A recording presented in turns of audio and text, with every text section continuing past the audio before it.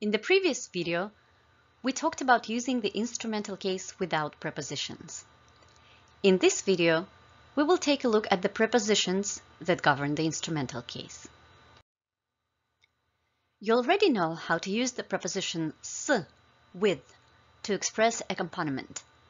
Квартира с балконом, an apartment with a balcony. Чай с сахаром, tea with sugar. Дом со всеми удобствами, a house with all the amenities. You can also use с чем to express a feeling or emotion accompanying an action. For example, работать с удовольствием, to work with pleasure, or слушать с интересом, to listen with interest. кем, с чем is also used to express joint action. Мы с сыном очень любим книги. Мы со Светой идем в кино. С кем, с чем is frequently used with verbs expressing joint action or mutual action. For example, знакомиться, познакомиться с кем. Папа, где вы с мамой познакомились? Dad, where did you and mom meet? Здороваться, поздороваться с кем? Анна поздоровалась с соседкой. Anna greeted a neighbor. Прощаться, попрощаться с кем? Гости попрощались с хозяйкой. The guests said goodbye to the host. Встречаться, встретиться с кем? Мы встретились с друзьями в парке.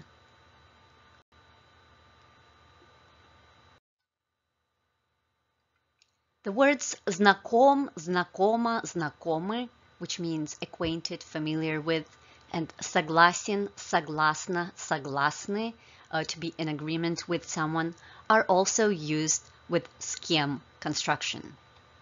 Вы знакомы с моим мужем? Извини, но я с тобой не согласна.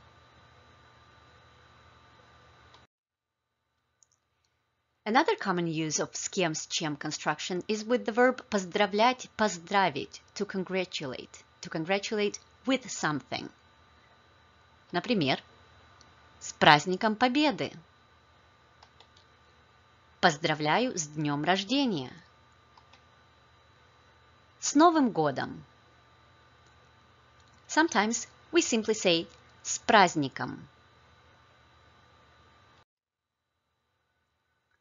Another useful verb that you can find with с кем construction is случаться, случиться, to happen. Что случилось с Месси? What happened to Messi? Что случилось с Бритни Спирс? Что с тобой случилось? What happened to you? And sometimes, if somebody doesn't look well or right, we can simply say Что с тобой? You know, of course, that s is not the only preposition that we use with the instrumental case. We also have prepositions that describe the position of an object in space, such as над, above or over, под, между, перед, and за, all of which are used with the instrumental case. In addition to above or over, над has uh, another meaning when used with the verbs работать, смеяться, and думать. To work, to laugh, and to think. Я работаю над этим докладом уже неделю. Над этим докладом here means on this report. Нам нужно серьезно подумать над этим вопросом. Над этим вопросом means on this question or to consider this question. Почему вы смеетесь надо мной? Why are you laughing at me? Similarly, you know the preposition за to mean behind. But with the verbs of motion such as зайти, заехать, вернуться, за кем, зачем indicates the person or thing to be picked up.